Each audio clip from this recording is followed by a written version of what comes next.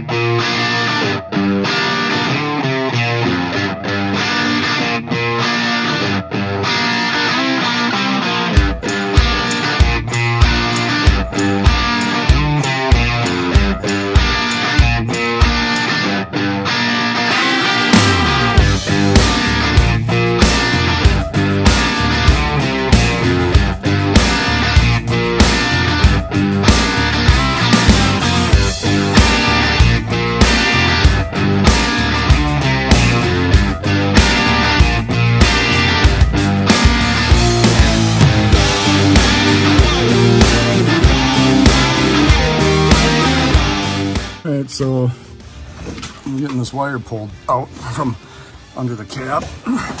And all of a sudden, one, two, three, four, five, six. Now I've got seven wires. I only counted six at the end, so did I miscount or this is the ground. Lovely how it goes from big to small. Underneath.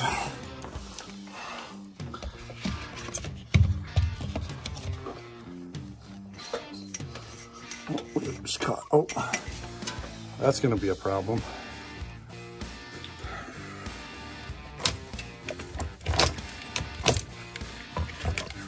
All right, voila, you're out. So I'm kind of thinking of still just leaving this here and running it back to where it came from and hooking it up to that junction box. Doing that idea. I wonder what this is. So what I've got going on is I'm gonna mount that box. I gotta find a piece of angle iron that I can bolt to them two bolts there. And then we'll mount that box on that angle iron.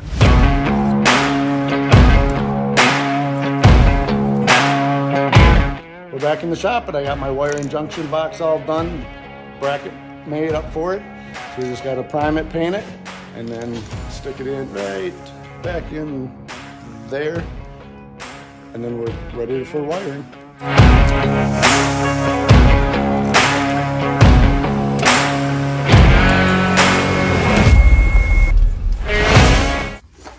All right, so what I've got going on is from up off the top of the doghouse, these three, I'll say medium sized wires are harnessed. Right here you can see. Same thing goes up on top of the dash and I didn't follow those, trace them back. I, I have a, uh, there's a bunch of fuses up on top that are labeled pretty good. And I think if I, if I did trace them back, they would tell me exactly what they are. All right, so I guess what I need to do is, do I want to take the dash apart and follow these? Or I could just have my kid come and hit all of the lights and I could test them. I could test each one and determine what's what. Um, is what I'm gonna, actually, what I'm gonna do now first is mark with tape at this side of the harness and this side of the harness what the end of the wires are colored.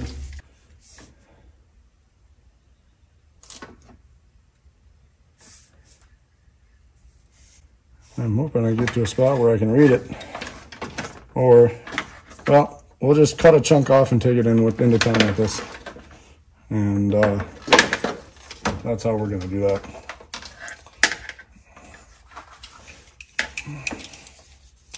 So we're just gonna do this at the end because it's gonna get, get cut back here anyhow. There we go. So win for the Leatherman. I always carry one of these things with me.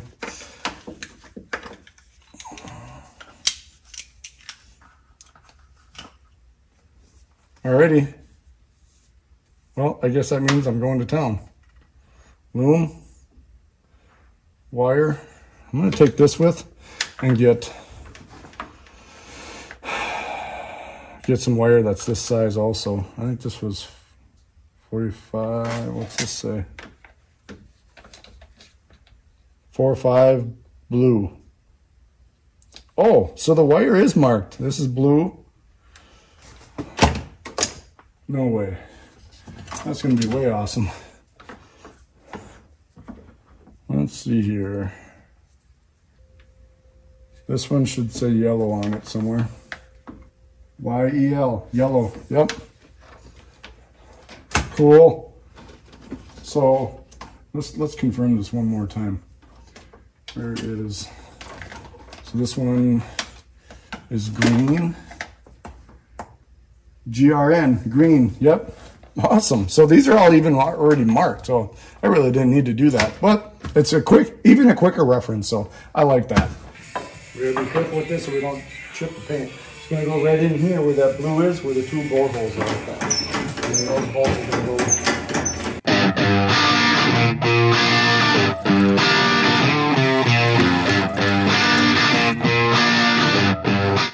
So what I have here now is I'm going to take this fitting and my idea. Is to put it up in through this hole here just like that and then all the wires will come down to it into my conduit and my conduit will my conduit will follow this stuff here down around and under the frame and then up inside the frame and it'll just run down into our junction box right here. So let's go ahead and do that. We're gonna get a round file, see what we can do.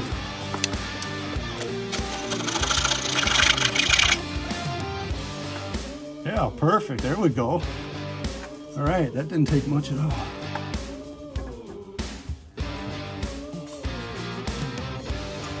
got it on and started.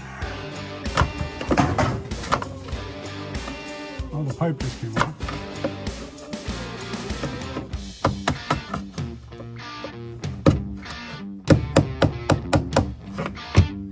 It's going to turn the fitting, I'm hoping.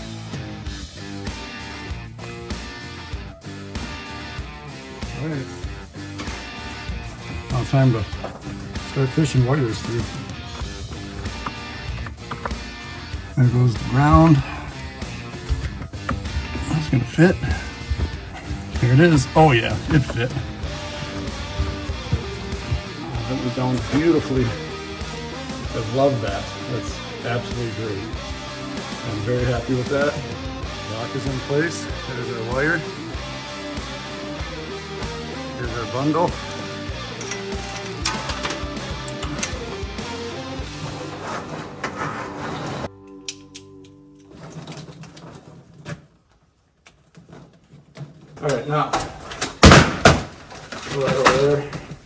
What we do with this, we have this, like this, got that. I'm just gonna pull everything right back through here. Proving to be a little easier to push it.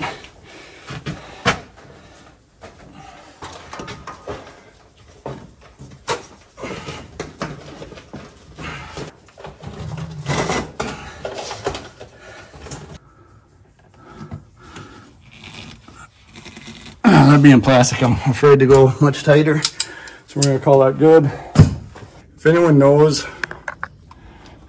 what this thing is right here, I thought it was a shock at first, but it's looks like some kind of little air tank or something. If you know what that is, uh, please leave it in the comments down below. Help me out. So going to this way.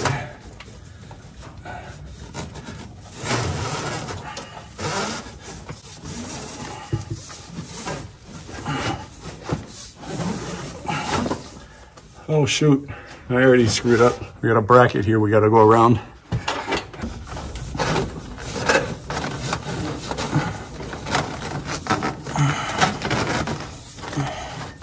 Now, let's come down through here, or down here, turn there. All right, we're up inside the frame where I wanna be. We're plenty far enough, so that's good. Now, we go back, start securing. Here.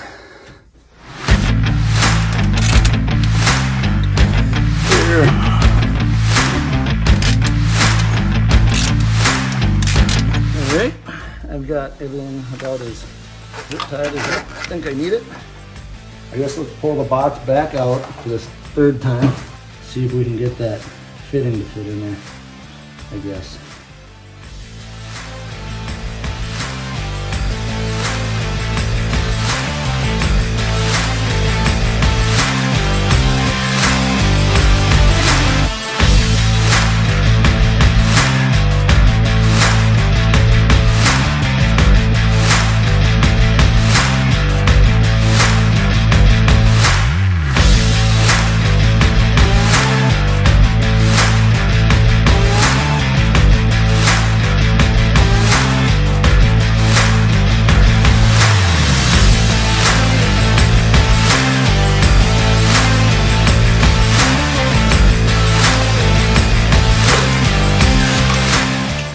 Definitely do not do this in less than three quarter inch with these seven wires. It's, I definitely would not want another wire in here. Pretty snug the way it is.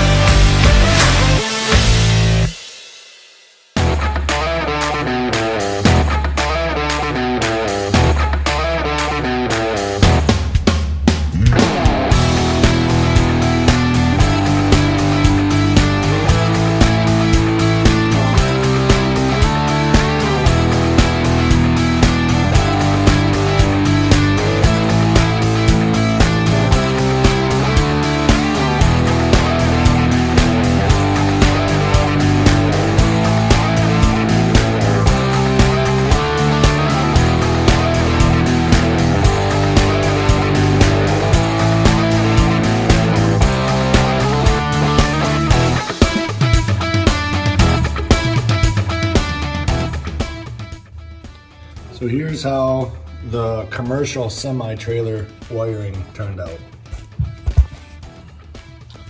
Here's the box, everything's in there.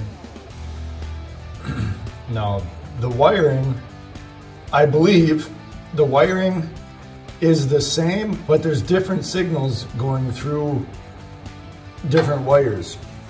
So that wiring for a commercial semi-trailer is different than this wiring for an RV. The signals are different somehow. I forget exactly how they are, how it is, how it works. But your RV works similar to the lights. So that's what we ended up doing later on is tapping off of the lights for the RV. So you'll see that in the next episode. Thanks for watching the progress on James.